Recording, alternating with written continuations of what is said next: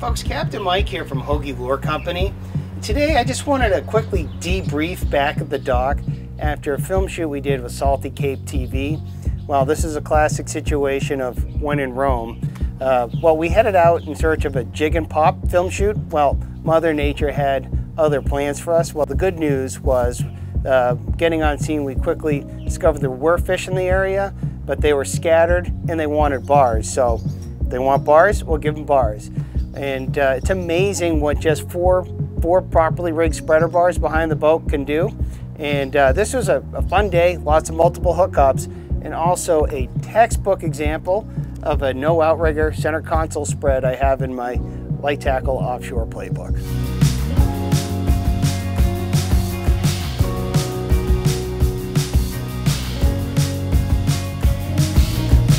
Now my spread fits in this very compact bag. This is our uh, classic no outrigger spread bag. And uh, this, this spreader bar collection is pretty much all you need for a day like today. Uh, we've got two directional bars, a, a port bar and a starboard bar that'll track way out and create a you know, traditional spread without the outriggers. Then you have the two classic bars that'll shoot right down the middle. Now, it's amazing what four rods can do out there carefully placed in a W formation behind the boat. Uh, with just four rods, you're extremely nimble. It's easy to stay on top of weed checks. It's easy to just keep a nice clean spread. Now, one option might be to send a rod down the middle, but today I'm happy with just four rods and they're doing the trick.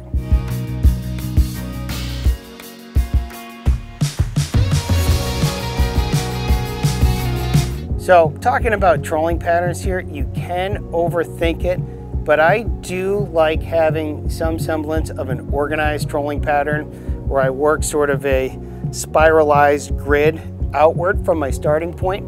And by trolling north, east, south, and west in different cadences throughout the spread, uh, A, I'm gonna have an efficient search pattern, but B, sometimes tuna like uh, the bars or any trolling lure for that matter, they like sometimes they want it into this into the into the seas or down seas into the sun, away from the sun. So by doing this organized spiralized trolling pattern, you're hedging all your bets, both in geographic coverage and in presentation, directionally speaking, relative to the sea conditions and light conditions.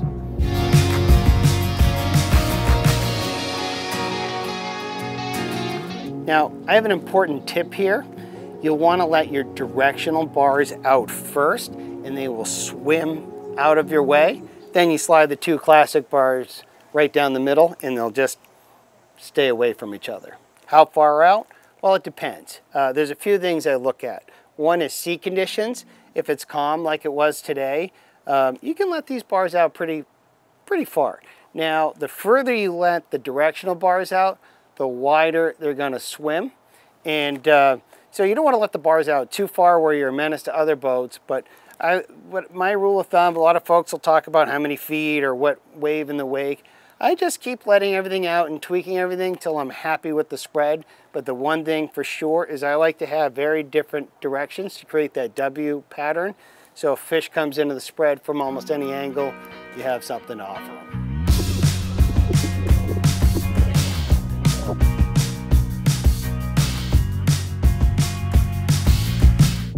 I consider to be more important than the trolling pattern is watching the tells. So obviously birds working and fish, crazy, fish crashing, you know, that is what it is. But today the tells were a little more nuanced. And so what we what we were looking for are sitting birds that are reluctant to move. Usually that means they know something's under them and they don't want to give up that position. Number two, we're looking at the side scan. We're looking for bait balls on either side of us. That might impact a little turn to the port or turn to the starboard. Um, you know, and certainly watching the fish finder for actual fish. And so sometimes tells are more pronounced, vortexing birds, and sometimes they're more subtle like they are today. And again, to recap, we're looking for bait balls to troll around, and we're looking for sitting birds.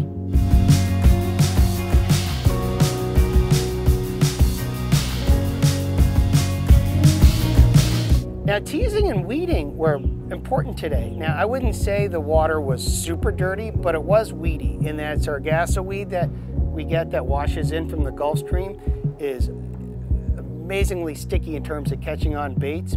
So what we discovered today was surging the baits and drop, so the crank and drop, crank and drop, crank and drop, served two functions. One, it was shedding the weeds by bringing the bars in and back so that forward drop, forward drop would shed the weeds, I think particularly when you're letting it back out. And number two, it was greasy calm conditions, and sometimes I imagine, you know, a school of fish following the bars, sort of checking them out, having one surge and then drop might create that FOMO, that fear of missing out strike. And so the combination of, you know, de-weeding the bars and creating that uh, FOMO reaction strike really upped our game and triggered more than one multiple hookup. Oh, oh, got a fish on. There we go, fish on.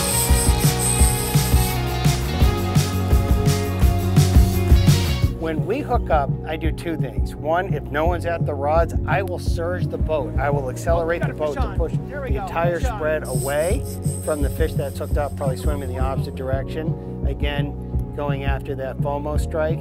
And um, also, if uh, there's anglers on the boat, I'll have them crank and you know tease.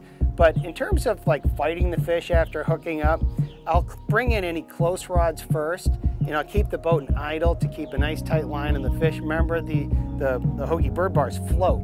And so as long as you're watching your lines behind the boat, these they'll be floating out and sort of out of the way. So I only take in what I need to, and it's amazing how many bars get hit just floating there. So use a little common sense when uh, fighting a fish after hookup.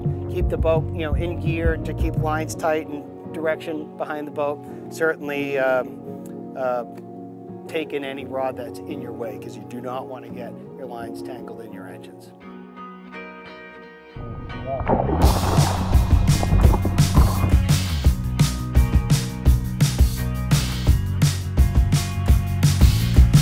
Okay, real quick, we're going to talk about landing to keep a fish. So, um, when you get the fish boat side, oftentimes out there, yeah, there's a fair amount of drift. You want to land your fish on the upwind side so you don't accidentally drift over the fish. Not only can you lose the fish, but you can get you know lines tangled in your you know running gear, whether it's outboards or inboards on a boat. So you want to land the fish on the upward side of the boat, and you want to take the time to get a perfect gaff shot in the head, in the head region. That way you don't disturb any of the perfect tuna loins or the fatty tuna belly, which is my favorite for a treat.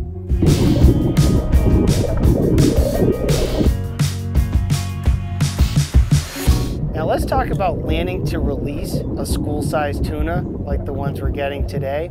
So when the fish gets boat side, obviously I'll have a gloved hand. I'll take a couple turns on the 200 pound test leader that comes in the bar.